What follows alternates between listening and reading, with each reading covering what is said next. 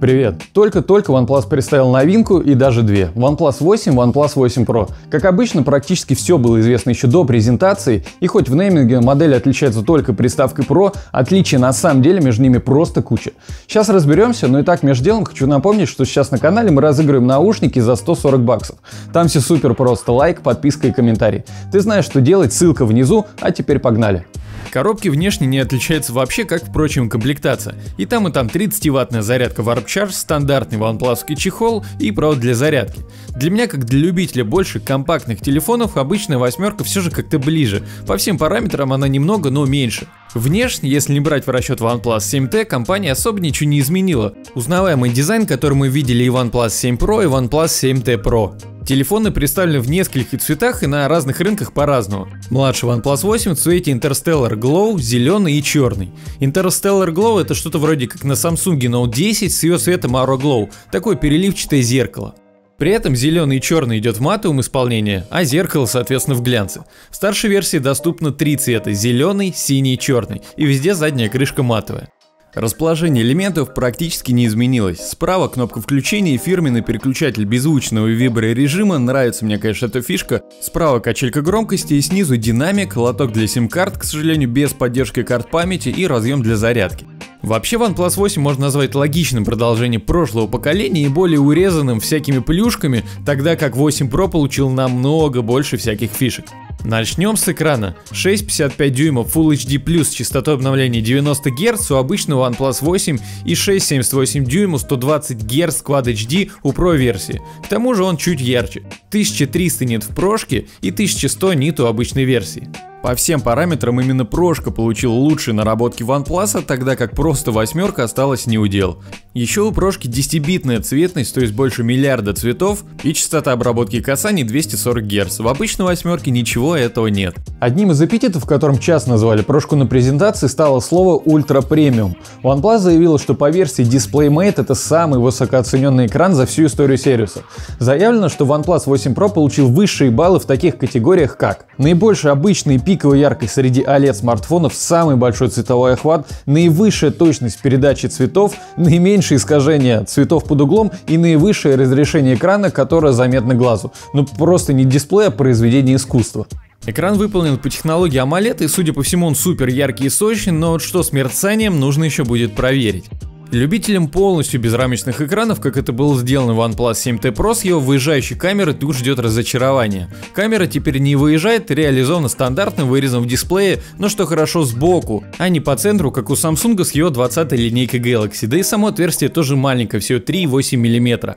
В версии Pro отказ от выезжающей камеры объясняется еще и тем, что, о боги, OnePlus услышал людей и наконец-то теперь появилась флагозащита IP68, правда только в старшей версии. Младшая по-прежнему никакого сертификата не получила, как, впрочем, беспроводной зарядки. OnePlus 8 с ним обломился, а вот Pro версия поддерживает 30-ваттную беспроводную зарядку, а заодно еще и реверсивную. В обеих моделях экран загнут по краям, но в Pro версии он загнут заметно больше, и вот это уже не радует. В 2020 году с загнутыми экранами уже никого не удивить, но при этом они менее удобные прямых экранов, так что тут обычная версия даже выигрыш не смотрится. Кстати, в обеих версиях есть стереодинамики, обновленный вибромоторчик и подэкранный сканер отпечатков пальцев, который, видимо, реально работает очень быстро, хотя их в прошлых поколениях он был неплох. Частота обновления в 90 и 120 Гц это, конечно, хорошо, но как и в прошлых поколениях, эти режимы адаптивные. Это значит, что частоту обновления экрана мы получим в 90 и 120 Гц в интерфейсе еще каких-нибудь системных приложениях, но вот игры идут максимум 60 FPS. Скорее всего, как и на прошлых OnePlus, придет на помощь J1 Tools, но так ли это нужно будет еще проверять. Как пользователь Galaxy S20, у которого экран тоже 120 Гц, но игры идут только на 60 кадрах, очень на это надеюсь. Оба телефона идут в конфигурации 8 и 12 256 гигабайт. Встроена память при этом UFS 3.0, тут без вопросов, а вот с оперативной есть отличия. Младшей версии досталась память LPDDR4X и только в прошке LPDDR5.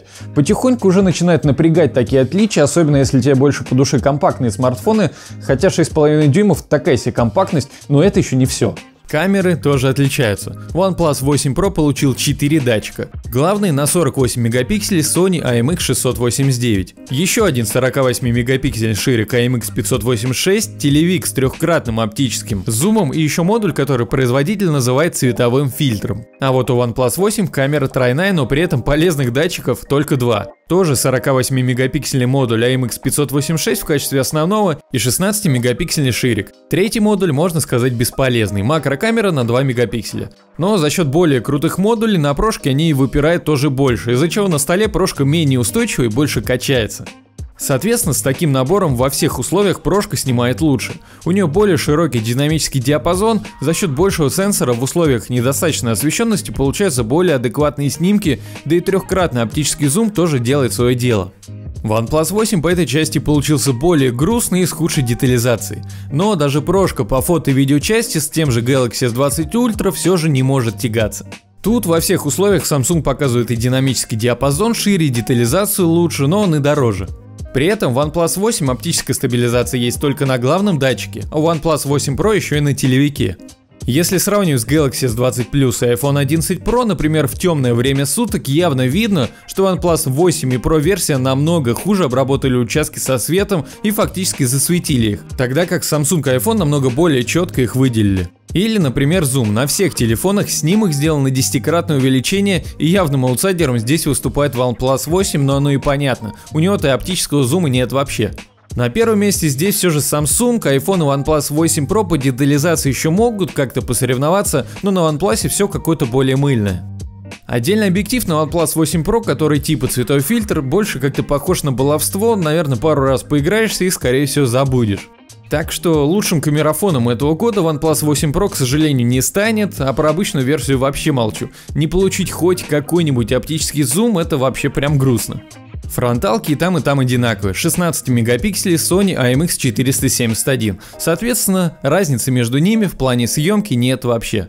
По части производительности без сюрпризов. В обеих версиях трудится Snapdragon 865, про который особо нечего сказать. Самый топовый процессор, который есть на сегодняшний день, и единственный вопрос, который будет влиять на ту самую производительность, что в OnePlus продумали с охлаждением, потому что на презентации на этом внимание как-то особо не заострили.